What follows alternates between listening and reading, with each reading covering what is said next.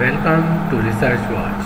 Here you can catch the key idea of published research paper in less than 5 minutes. I hope it will help you to select the paper for you further reading, knowledge or research purposes.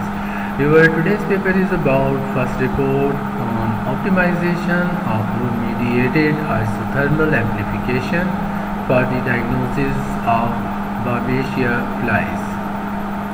Muhammad Awaz Salim is the lead author. Viewer, the objective of the present study was to optimize loop-mediated isothermal amplification LAMP assay for the diagnosis of Babesia felis in cats. LAMP primers were designed recognizing four sections of 18S ribosomal RNA, 18S rRNA gene of B. felis.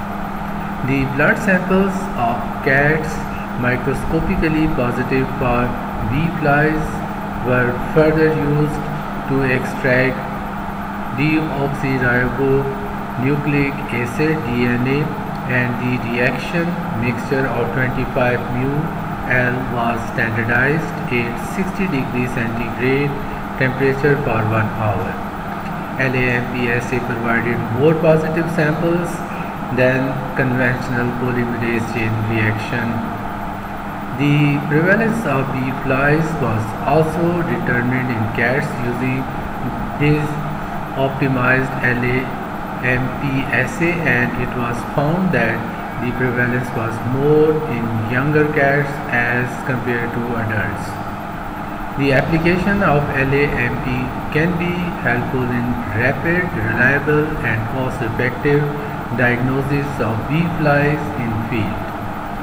This article was published in Indian Journal of Animal Research, March 2018. I hope you found this video useful. I would really appreciate your feedback. Please don't forget to subscribe and follow the channel. Thank you.